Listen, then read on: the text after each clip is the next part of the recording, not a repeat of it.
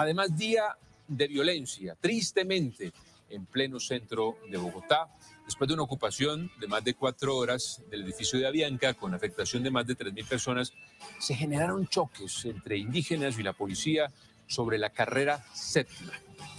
¿Qué fue lo que pasó, Alejandro? Buenas noches. ¿Usted dónde se encuentra? Jonathan, ¿cómo está? Buenas noches. Pues estos enfrentamientos se registraron aproximadamente sobre la una de la tarde.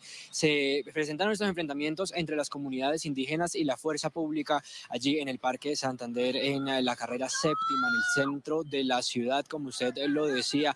Demuestro rápidamente que nos encontramos aquí sobre la calle cuarta con carrera 14. En este punto de la ciudad se encuentran eh, eh, resguardados las comunidades indígenas en el Rioja después de estos graves enfrentamientos que se registraron, pues se desplazaron hasta este lugar de por las fuertes lluvias que se registraron incluso en el centro de la ciudad. Al menos 27 personas resultaron heridas, eh, cinco civiles, ocho gestores de convivencia y diálogo, tanto de la Secretaría de Gobierno como la Secretaría de Seguridad, además de... Eh, 14 eh, uniformados de la Policía Nacional de la Fuerza Pública que se vieron afectados. Hay opiniones divididas según lo que dice la Secretaría de Gobierno, la Alcaldía Mayor de Bogotá, y es que ellos actuaron según los protocolos que entregan eh, las autoridades. Sin embargo, los líderes indígenas nos confirman que... Eh, Primero hubo agresión por parte de la fuerza pública,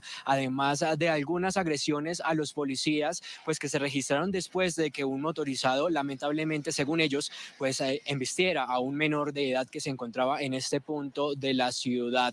Es la información que ellos eh, entregan, eh, opiniones divididas, por supuesto, versiones divididas por parte de la Alcaldía Mayor de Bogotá y también de las comunidades indígenas. En el siguiente informe les vamos a contar más detalles de estos lamentables enfrentamientos. Nosotros como indígenas sí tenemos bolillos.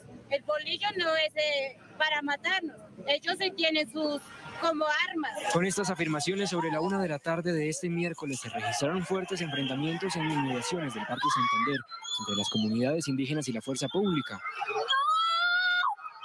27 personas entre uniformados, civiles y gestores de convivencia resultaron heridos ocho de nuestros servidores eh, gestores de diálogo, de convivencia entre estos 27 heridos. Adicionalmente, desafortunadamente tenemos 14 miembros de la policía entre los heridos y cinco civiles.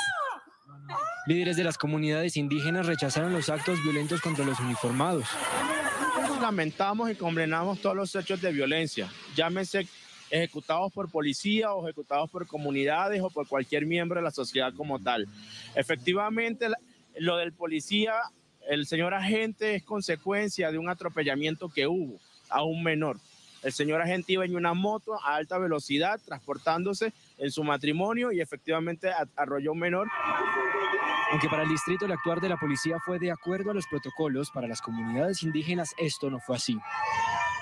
Hemos actuado conforme a, los, a lo que establecen los procedimientos claramente estipulados por parte de la policía y en el distrito de Bogotá. Desde la administración de Bogotá apoyamos, respaldamos la actuación que hoy adelantó la policía. Hay varios testigos que lo pueden asegurar de esa forma, que efectivamente desplazaran a la gente con aturdidoras. Y efectivamente ahí están los videos donde demuestran que el ESMAD comienza nuevamente su ataque, al igual que el 6, el 6 de abril, hemos acordado la instalación de una mesa de diálogo que pueda dar resultados a una problemática que se ha presentado hace varios años con la población en Vera, particularmente en los últimos dos años, se ha incrementado la problemática con la población. Paralelo a esta manifestación, nuevamente se registraron enfrentamientos en inmediaciones de la Universidad Nacional entre encapuchados y la fuerza pública.